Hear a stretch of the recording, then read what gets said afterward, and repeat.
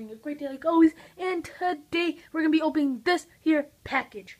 So this package I bought off Amazon a couple days ago. And I want to show you guys this package. So let's get digging right into it. I'm not going to show this because it shows my address. Alright, we've cut across. So obviously here it is, the thing that I ordered. So I ordered 110 Nerf Rival rounds. This is cool. I bought this because I was running low on Nerf Rival rounds. So uh, this is 110 rounds. As you can see, warnings keep away from small children. I'm obviously not a small children.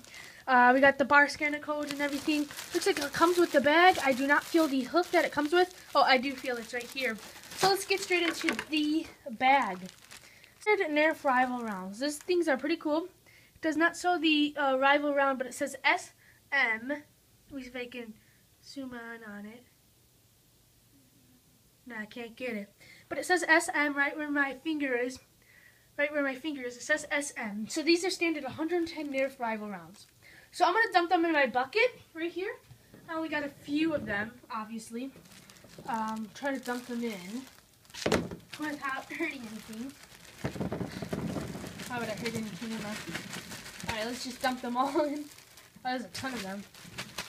I'm super happy about that. Pull in this. Drop one.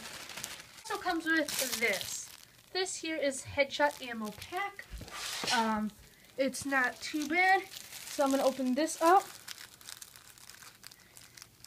Right here.